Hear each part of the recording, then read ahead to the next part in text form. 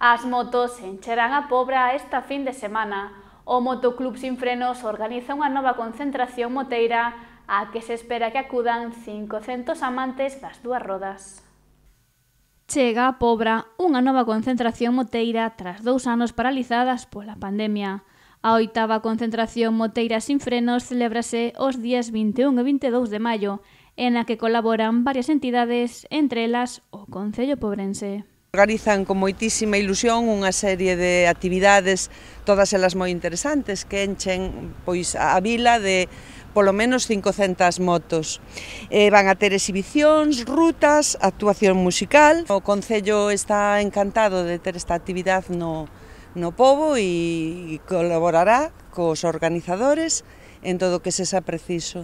A cita dará comezo sábado ás 4 da tarde coas inscripcións e a exhibición de adestramentos da Escola de Pilotos Ikeric Racing do Porriño. Ás 6 da tarde teremos unha ruta hacia Ribeira, Castiñeiras, e pararemos a facer un picoteo no Olivo Blanco para todos os moteiros. De regreso teremos unha actuación de pasareiras, que son monólogos, teatro.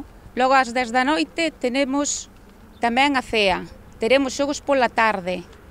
E o domingo teremos o desayuno, a comida, a disco móvil a partir das 12 da noite, terémola para toda a xente que queira vir, e repartiremos os trofeos. Teremos tamén degustación de conservas escurís, que nos las deron eles, para que a xente probe o bo da, da ría. A entrega de premios dividirase en varias categorías.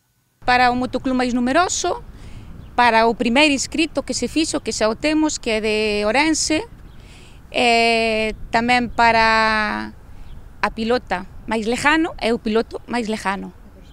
E despois temos uns trofeos pequeniños que lle daremos aos rapaciños que veñen a hacer exhibición, que son 12 rapaciños pequenos con minimotos.